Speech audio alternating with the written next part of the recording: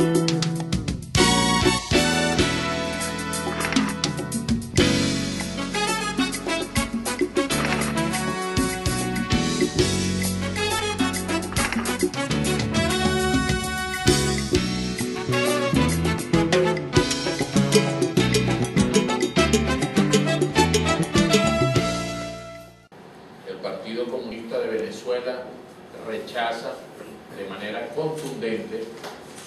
planes desestabilizadores que se vienen desarrollando por parte de la derecha venezolana, por parte de sectores de la derecha venezolana que se vienen dando en distintos ámbitos. Nosotros ya la semana pasada habíamos alertado y denunciado los planes desestabilizadores que se venían dando y hoy queremos eh, reafirmar y por supuesto reiterar esta denuncia porque estos planes eh, que están en pleno desarrollo se vienen dando en distintos ámbitos. Eh, ya vimos cómo el general Mata Figueroa, ministro de la Defensa, ha denunciado que estos sectores tratan de manipular a algunos militares dentro de las Fuerzas Armadas Bolivarianas, la Fuer- Fuerza Armada Nacional Bolivariana, y que por supuesto eh, esto va dentro de todo un plan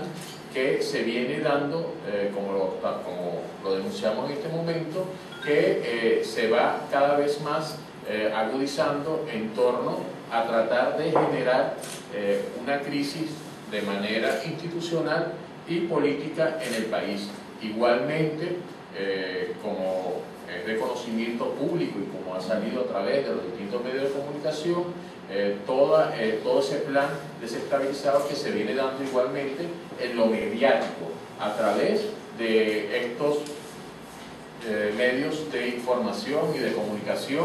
que son dirigidos directamente por el capital, por el gran capital nacional y que están ligados eh, muchos casos a transnacionales de la comunicación y de la información a nivel internacional. Vimos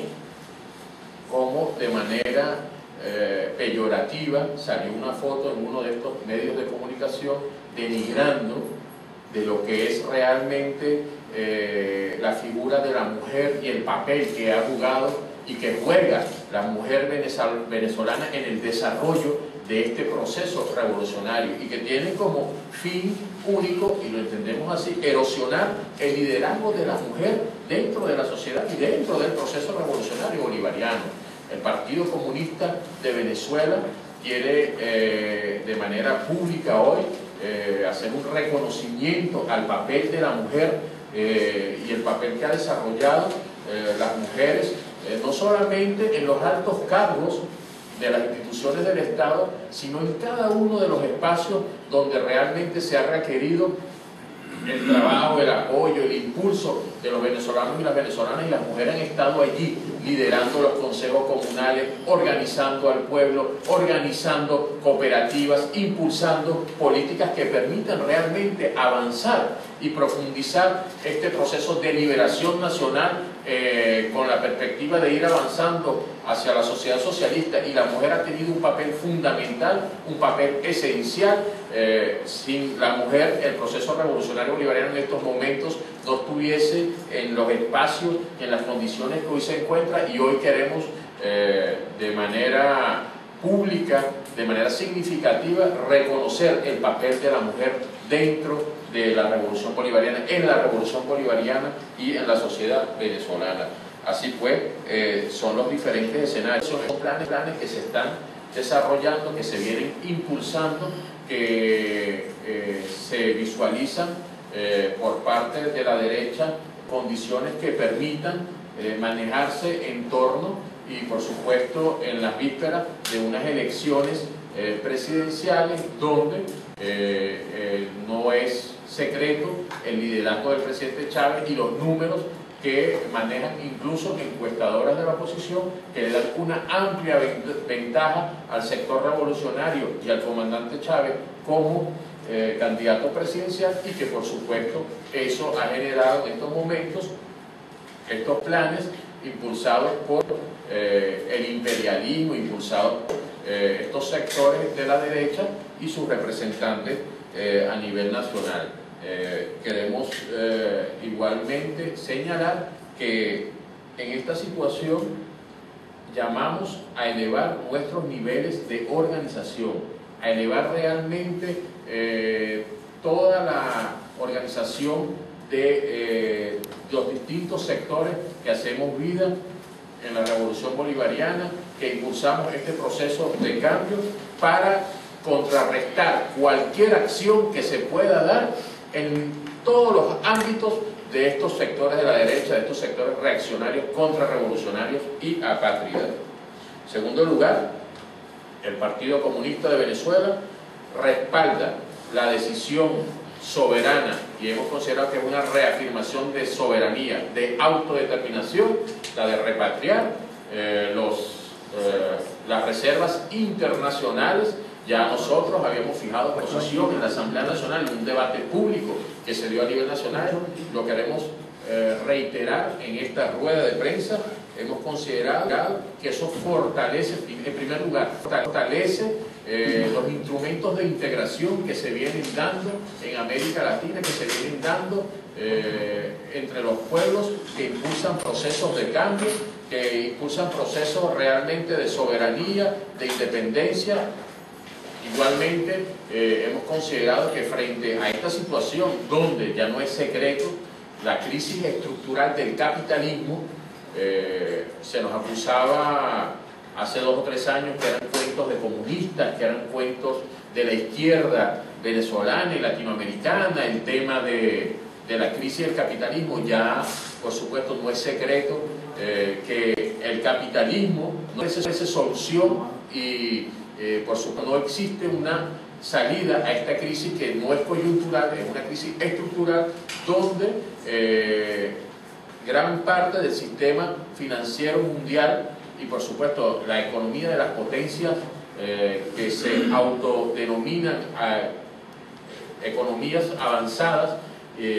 han entrado en crisis y donde se pretende que el costo de esas crisis sean pagadas por los trabajadores y trabajadoras con despidos masivos. Hemos visto las luchas que han emprendido los trabajadores y trabajadoras en Europa, en gran parte de Europa, y queremos por supuesto, eh, mandar toda nuestra solidaridad a estos trabajadores y trabajadoras que día a día se encuentran en las calles enfrentando a los grandes, a los representantes de los grandes monopolios y transnacionales que tratan de eh, implementar este costo, de imponer este costo a los trabajadores y trabajadoras con despidos masivos, con el incremento de impuestos a estos sectores de trabajadores y trabajadoras eh, a la clase trabajadora y, de trabajadores y por supuesto eh, reducir todo lo que es la política social y, las conquistas que han logrado estos trabajadores y trabajadoras. Así pues, eh, este tema, las reservas internacionales de repatriar, es una reafirmación de soberanía, pero queremos alertar en esta oportunidad que estas acciones soberanas, estas acciones que ha emprendido el gobierno venezolano, respaldado por la gran mayoría de nuestro pueblo, por supuesto, pudiesen acelerar acciones de estas transnacionales y corporaciones que conforman el imperialismo norteamericano y se hace aquí eh, imprescindible eh, hacer un llamado para que elevemos todo nuestro nivel de organización que permita realmente seguir avanzando eh, y por supuesto entendiendo que tenemos unas fuerzas armadas que responden a los intereses de nuestros pueblos, seguir avanzando en esa gran unidad cívico-militar, seguir fortaleciendo la unidad cívico-militar, pueblo eh, organizado, trabajando al pueblo uniformado para contrarrestar este tipo de acciones que pudiesen acelerarse con toma de decisiones soberanas que responden a los intereses de nuestro pueblo. Finalmente, eh, el Partido Comunista de Venezuela quiere rechazar las acciones y la contraofensiva que se viene dando por la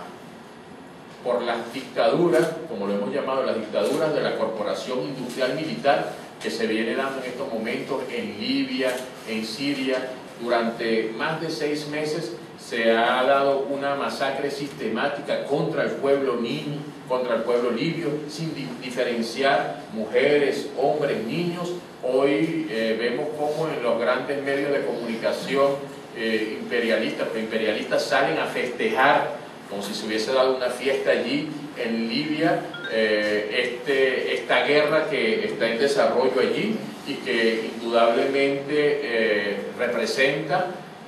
ganancia a los intereses del gran capital eh, mundial, el gran capital financiero eh, mundial y en nada representa indudablemente una política en favor de los intereses de los pueblos. Hemos considerado eh, y llamamos a que realmente se dé toda la solidaridad con los pueblos que se mantienen en lucha, con los pueblos que luchan por su soberanía, por su autodeterminación. el imperialismo eh, no actúa en estos momentos para terminar guerras. Estos son comienzos de guerras que se vienen dando en función de ir solventando la crisis en la cual se encuentra como una única salida para lograr realmente ver cómo salen de la crisis y en eso eh, queremos eh, señalar y alertar que nuestro país, con todas las reservas internacionales que con toda la reserva energética, con toda la reserva de agua dulce que se encuentra en esta parte del planeta, se convierte, por supuesto, en un objetivo potencial frente a esta crisis del imperialismo y específicamente del imperialismo norteamericano. Por lo tanto, tenemos que estar alertas, tenemos que estar, por supuesto, vigilantes, tenemos que, volvemos a reiterar el tema de la organización popular, para lograr avanzar en la defensa de la soberanía, en la defensa de nuestra nación. Gracias.